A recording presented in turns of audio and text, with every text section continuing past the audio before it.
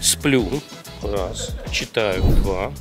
Занимаюсь на гитаре, вот это замечательно, отвлекает, а, пишу песню.